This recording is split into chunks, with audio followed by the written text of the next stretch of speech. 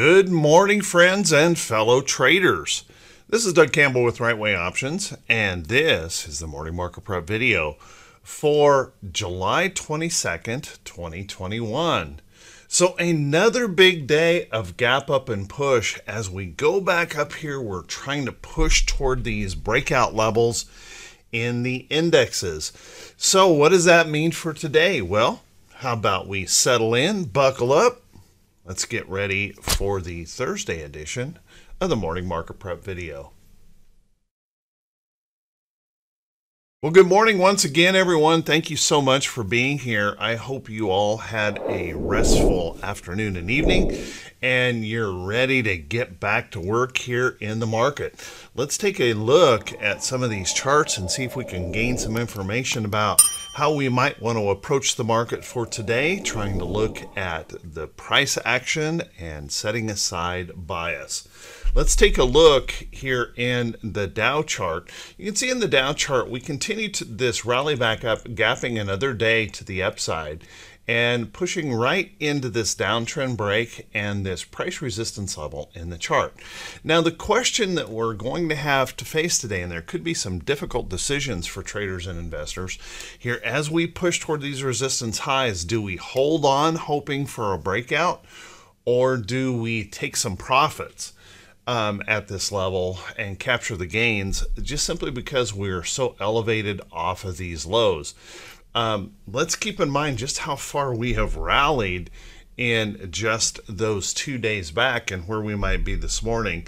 I'm going to go to the Dow chart just to measure off of here and just realizing that we are up here um, over a thousand points in just a couple of days and run. Now, that doesn't necessarily mean we can't go higher. We certainly can. What I'm just trying to point out is there may be some reason for a little bit of caution right here as we press these resistance levels in the chart and just realize that it is a place where we could see bears uh, potentially line up and defend. You know, that big a run, it's not out of the question to even be, be considering taking some profits. So a little bit of profit taking could come into play. However, we have the other complication in this market, and that is we've got economic data that could move us around, and we have a bunch of earnings reports that certainly have that potential to push us through. And most of those earnings that have been coming out have beat estimates, and we seem to be pretty happy with what's going on with that. So, could we push on through? Yes, we can but consider your risk should we find some reason to stumble here in the chart. And just don't ignore, don't ignore resistance levels in the chart. We have to respect these levels.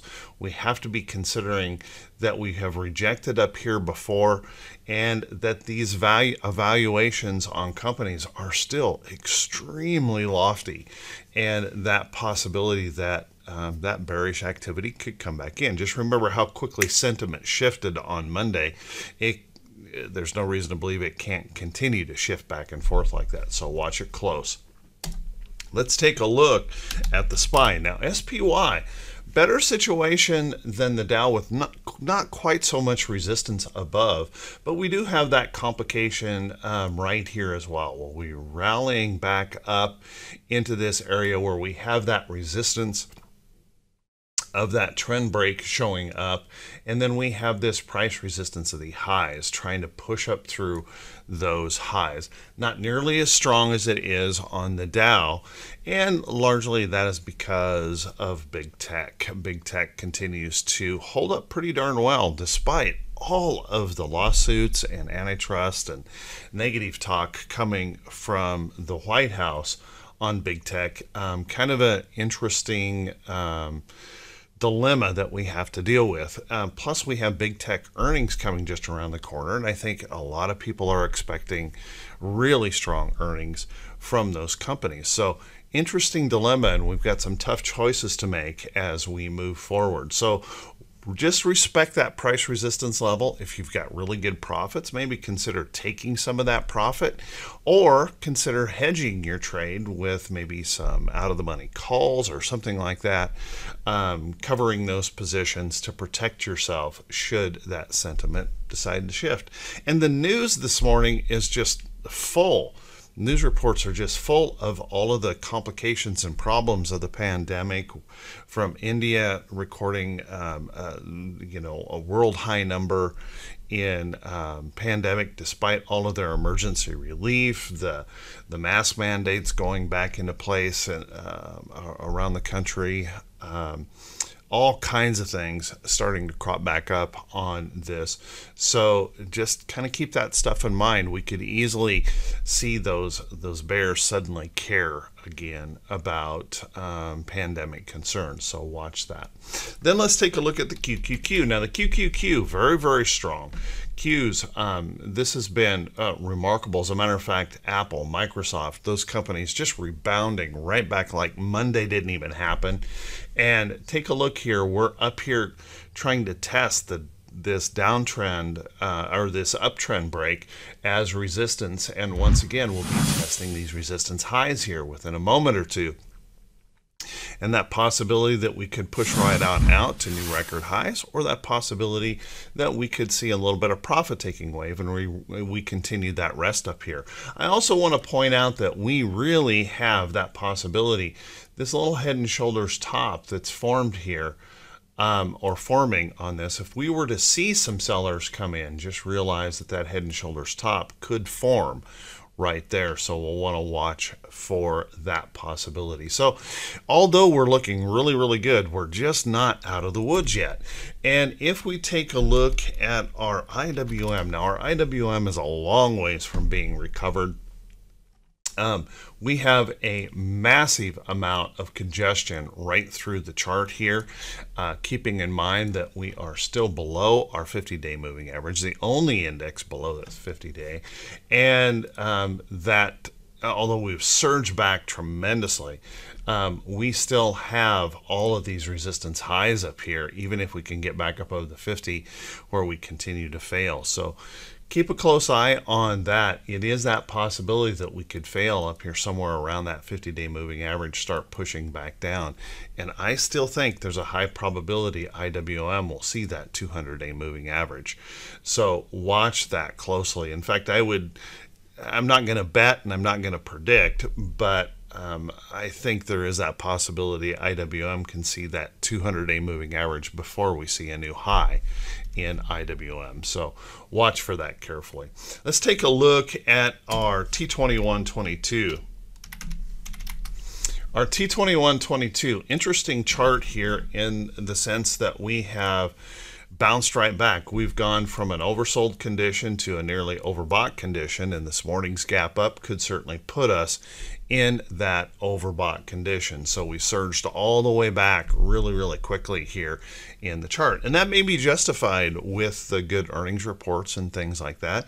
But we do want to consider the lofty evaluations and that as we stretch up here, we run into those danger period places again where we have opened up big opportunity. If we stumble in any way, shape, or form, that big opportunity to um, swoon back toward that downside.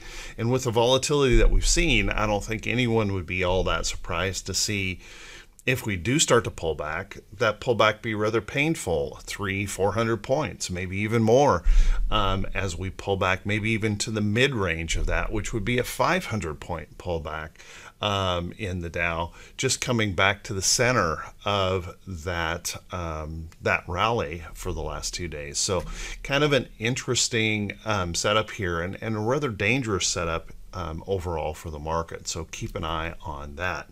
Then if we take a look at our T2101, interesting that market breadth yesterday as we were continuing to push, market breadth actually pulled back. We can't seem to break through on the buy wave. We, we, we seem to continue to struggle and struggle and struggle up here on that buy wave, getting through those levels seems to be a little bit of a challenge for us right now.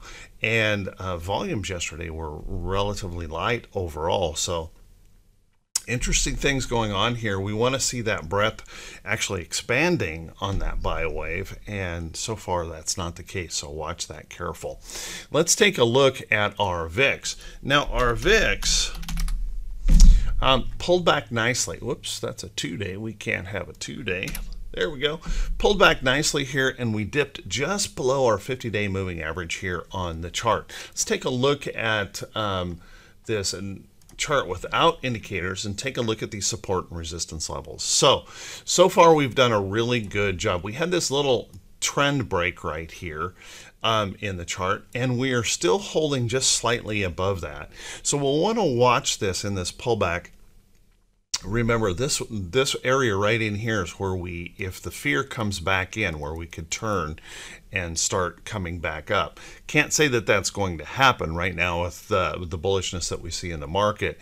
Um, it may not happen but watch the, for that possibility. And, and i just want to remind everyone that it's it's never it never has been if you look at big sell-offs in the market it never ever has been where we um, spike up and just continue to run to the upside. We always get that resting pullback where we hold downtrends as support.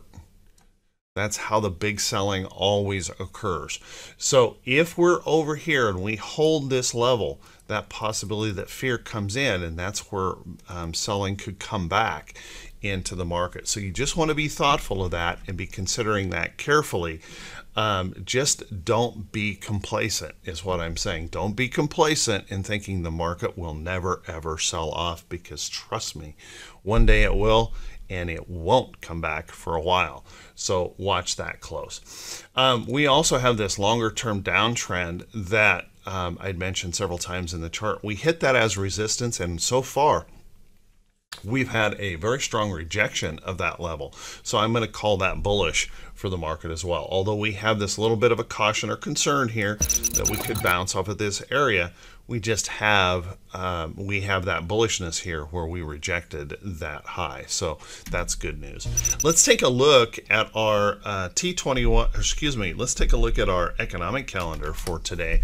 Our economic calendar's got a couple things we're going to want to consider this morning. Take a look over here. We've got jobless claims at 8.30 this morning. We know that that number can be a little bit contentious, and we've had those times where the number came in not as good as expected, and that created a little bit of volatility in the market. Can't tell you what's going to happen today. We just have to watch and see. Um, if they can follow through with the bullishness with that number. And then also we've got existing home sales and just kind of keep in mind that that's been a little bit of a challenge area for the market here as well with uh, some of those housing uh, numbers pulling back, just costs going up so high, folks pulling back on um, that buying activity in housing. So watch that. We do have a natural gas report later today. I don't think anybody is going to care. And um, when it comes to the Fed balance sheet down here at the end of the day, I don't think anybody's going to care about that either. As long as we keep printing, we keep loving the market. So debt doesn't matter anymore, at least at the moment, it doesn't matter. Let's take a look at our earnings calendar. Now, our earnings calendar is a busy day. We have, this will be the busiest day this week, nearly 90 companies on the calendar um, several of those are unconfirmed reports, but we have quite a number of notables here this morning. So I can't cover them all, but what I do want to do is suggest to you guys to click that link right below the title of the video. Right below the title of the video, we have you can go back to the morning blog and you can um, pick up, you can pick up um, uh, that full list of notables for today um, so that you can stay on top of what's happening here um, on these earnings reports. So I'm going to cover just a few that here this morning. We're going to hear from um, Boston Beer. Sam Adams will report. This could be a critical report. Notice we've been in this ugly, ugly downtrend in the chart. If we can report well, maybe a pop through. If it fails, possibly more lows here in that chart. We're going to hear from Crocs Um, we sure love these rubber shoes. Oh my goodness, look at here. Looks like they popped out um, really strongly here this morning on their earnings report, looking really good. Crocs, new record highs here in that um, retail stock. Watch that one close. We have some restaurants reporting. Uh, D, uh, DHI will be reporting today, and looks like we popped up into that downtrend resistance, and we're seeing just a little teeny tiny bearishness coming in here this morning. Maybe a disappointment on that earnings report. Watch that. Uh, another restaurant chain, um, Taco Del Mar, will be reporting today. Looks like we have little bit of a gap up trying to, to move this morning, but I can't tell you that that is a reflection of uh, the report right now. It may just be a function of the bullishness of the market. So keep an eye on that. Um, we're going to have uh, copper, some copper reporting. FCX Copper Miner will be reporting today. Watch that. We've been in this downtrend, and actually, very surprising that we've been in such a downtrend here, considering the inflation and everything that's going on, um, and uh, the hopefulness of uh, an infrastructure bill we've been sliding here to the downside. So watch that closely as that reports. We'll hear from uh, Dow Chemical today. Looks like it's popping up a little bit. Looks like it wants to challenge its downtrend here in the chart. And a couple of the techs that we'll be hearing from today. We'll be hearing from Intel after the bell today, I believe. And we've got Twitter that will be in there for today. Plus a couple, you know, there's Fifth Third Bank and a couple other things in there. Snap will be in there. So uh, keep an eye on all of these. There's a lot of data coming our way on that earnings calendar. So, how about we take a look at some stocks that could be setting up for today? But before we do that, guys, if you could do me a quick favor, if this is the first time you've seen these videos, if you could please click that subscribe button on YouTube and then also click that bell icon when it pops up so you'll be notified every time I post a video. And also, if you feel the video was worthy, please keep pushing those thumbs up buttons and keep leaving those comments. Remember, it's the engagement in the in the video that um, helps the algorithm to show these videos to more folks. And so I want to say thank you to everyone who does take the time to do that. I know it's a pain in the neck. I get it. But um, I truly, truly appreciate it. And it's helping the channel continue to grow. Um, so thank you so much. And then for those of you supporting the channel through the Buy Me a Coffee link, uh, just a huge shout out to you guys. You, you're truly awesome. I, I really, really appreciate it. So with that, guys, how about we take a look at some of these stocks setting up? And please keep in mind that there these are not recommendations to buy or sell any security. You have to do your own due diligence. These are just some ideas that I provide that may um, may have some potential for a watch list for you to kind of keep an eye on, but always make sure you're you're um, following your personal plan. You understand the risk of all of these trades before you enter them. First off, let's take a look at some possible shorting setups. Even though we're really bullish here, guys, there are some patterns out there that are a little concerning, and I'm going to go to a moving average uh, chart here. And let's take a look at um, XLF. Now, XLF, our financial sector, we got a good bounce back here recently, but let's notice that our 50-day moving average, we are setting in this little rounding top here on that 50-day moving average. Now the question is going to become, can these financial stocks push on through? Um, it's going to be an interesting. That's still a major question here. We continue to see rejections as we reach up into that area. So watch this carefully. It could be a real telling sign for the market whether or not we're going to push on through and get bullish, or if we're going to um, see those bears come back in and attack. It would be relatively rare to see the markets um, just rally, rally, rally without the financials. Um, it can happen, but it is relatively rare. So watch that closely as we approach this resistance up here and this 50 day moving average. If those banks were to start to slip and pull back, that could be a little bit of a concern here for the market. And um, there's quite a few of those charts out there. If you take a look at like um, BAC. There certainly is no love here for Bank of America as it pushes back toward that price resistance. Um, I would say the same for Citibank. Um, definitely not much love here. Now, on the other hand, for some reason, we've got WFC back above its 50-day moving average. I don't know what it's what's inspired that. So we have this back and forth going on in that financial sector. Watch that closely. If we were to fail here, uh, keep an eye on that XLF. If we were to fail here, that could be interesting for the market. Also, let's take a look at energy energy has been struggling a lot here recently and um, pushing back, breaking its 50 day moving average, and really falling toward that 200 day moving average pretty quickly. Notice that that 50 day has rolled over. So if we have financials and we have energy struggling here and struggling against resistance levels in their charts, that could be a little bit problematic. That makes it difficult for stocks to continue to to rally or indexes continue to rally if we don't have their participation um, in those moves. Can't say that we're going to fail, just that we want to watch and pay attention to that.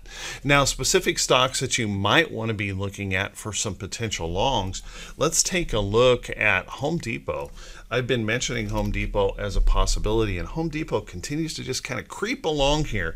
If we put some of my drawings up here on the chart, notice that we're holding this price support in this level, and we did pop through that resistance, but we're still struggling here just a little bit trying to gain that momentum for that upside move. Just struggling in here just a little bit. So watch that closely. If we can find that inspiration in here, we might be able to push on through. Keep it uh, in mind that this is going to report on 817 and um, we oftentimes will see stocks rally toward their earnings reports here recently. There's a whole lot of anticipation about earnings, and we just jump in and rally, rally, rally up toward earnings. So watch that closely. That could start at any time in this chart. Um, we might also want to be taking a look at um, some of the COVID um, stocks. They have surged back tremendously here the last few days. And notice that we've pushed up here in Peloton and we're resting right above this support level. So that price support we pushed through and now we're resting right in here. I would watch this for that next possible opportunity that we could gain that bullishness in here and surge on higher. Um, so keep a close eye on that. We're seeing a lot of these um, stocks have surged back nicely and um, showing some strength here. So if we can hold that support, hey, there may be some upside. Keep in mind, reports on 9-9.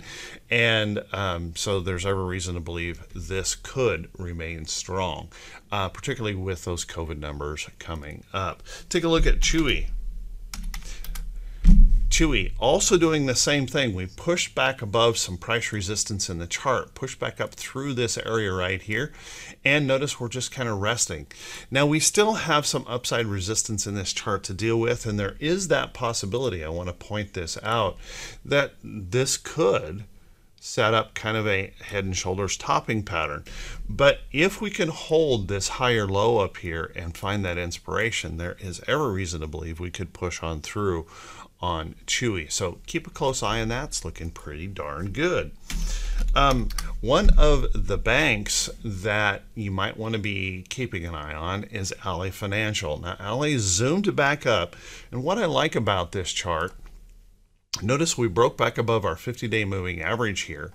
And if this can continue to hold up in this area, if we can rest or consolidate, breaking through this price resistance in the chart, if we can hold up here, maybe take a little bit of pause, a little bit of break, we could see that opportunity or that could push on through. So might be worth having something like that on your list, watching that closely for that possibility.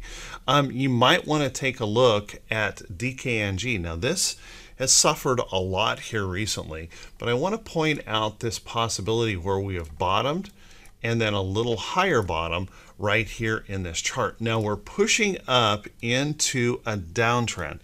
And I never want to buy right at the downtrend. As a matter of fact, I consider that one of the highest risk trades that you can make um, in the market. What I want to see is this actually pop through. If that can pop through and hold up here, then I have an opportunity in that trade. But it's worth having on your list, even if this were to fail in this area. Let's keep in mind the DKNG could fail right here at its 50 day moving average, and that is a potential short. So, on both sides of this, we could have a potential trade. We want to watch that carefully. If we fail here, we may have that potential short. If we can push through, we may have that potential long if we can hold those levels up there. So keep a close eye on charts like that. Um, lots going on there. I have to also mention, um, even though these are coming into some earnings, you really need to be keeping an eye on some of the big techs. Um, it, it's kind of remarkable to me that um, they are this strong with their evaluations um, so high. Um, their P&E ratios are ridiculously high at this point, but we continue to just push. There doesn't seem to be any concern about that. So keep an eye on Microsoft, Apple. They're looking really, really good. Google, um, despite, you know, what is it? Uh, 46, 47 states filing lawsuits against Google. We don't care. Um, we just want to buy. So um, keep an eye on that. These um, a lot of these big techs are very very strong still and could have some upside opportunity. So with that, everyone, hey, I want to wish you all a fantastic day. Sorry this video got a little bit long.